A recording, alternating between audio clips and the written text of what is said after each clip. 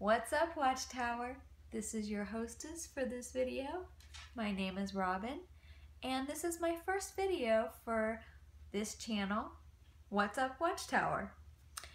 So I wanted to make this introductory video of myself on Nisan 11th. Today's date is, according to the Jewish calendar, in the Gregorian year of 2016. And the reason I'm doing this today is because our channel is going to go live on Nisan 14th. And for those of you who are familiar with the Jehovah's Witness beliefs, or currently Jehovah's Witnesses, or former Jehovah's Witnesses, you'll know what Nisan 14 is. It is, according to the Jehovah's Witnesses, the most important day of the year. It is the day when we memorialize the death of Jesus Christ. It is the one thing that the witnesses will celebrate, celebrate every year, and they get really worked up the month of the memorial, and they gear up, and a lot of them will pioneer, and they try to go out to every one of their return visits and those who have become inactive to invite them to the memorial. Well, problem is, they celebrated the memorial a month early. They did not celebrate it on Nisan the 14th, the way that Jesus did, the way that his disciples did, the way that he instructed them to. And I really am baffled by this. Quite frankly, I don't understand why they celebrated it last month. They have to know. By I mean, it took me literally two seconds to do a Google search to find out what day on the Gregorian calendar is Nisan 14 this year.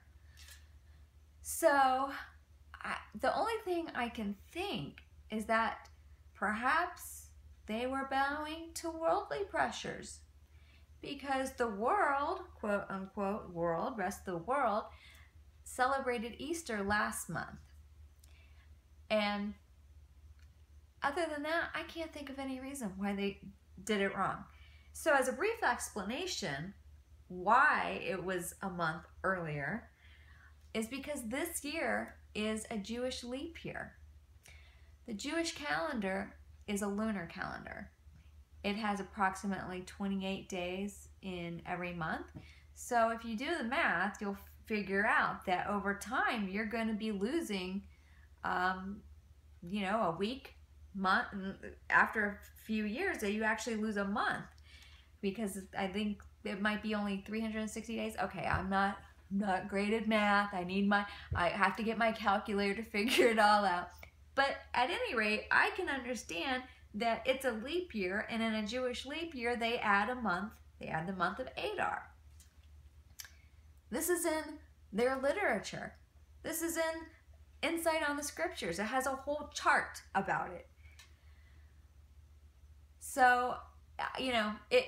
My husband and I have been talking for quite some time about creating our own YouTube channel and things have just sort of been lining up for us and we felt like it was time. And so we're hoping to bring our channel live on Nisan the 14th or in other words on April 22nd and uh, we have a lot to share a lot of stories to share. And uh, we're trying to make this humorous and not take ourselves too seriously. But I do find it very appropriate that I'm making this on this time of year because it's actually been 10 years since I've been to a memorial. So this is sort of a celebration for me. It's an anniversary of me not being at a memorial for the past 10 years.